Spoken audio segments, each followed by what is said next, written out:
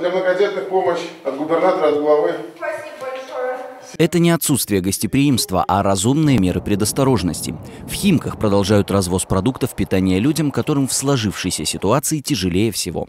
Коробки передают так, чтобы лишний раз не контактировать с теми, кто в группе риска. К добровольцам и волонтерам присоединился начальник территориального управления микрорайонов Клязьма-Старбеева, доставил продуктовые наборы многодетным семьям. Продуктовые наборы достаточно большие. Э, Помимо, вот, как вы видели, огурцов целой коробки для многодетных семей.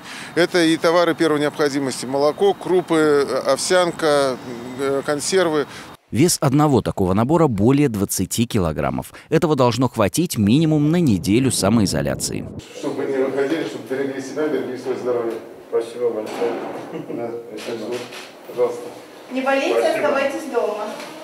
Всего доброго. До свидания. До свидания. По словам чиновников, все поступившие заявки оперативно обрабатывают. В приоритете жители в группе риска. Ветераны войны, инвалиды, люди старше 60 лет.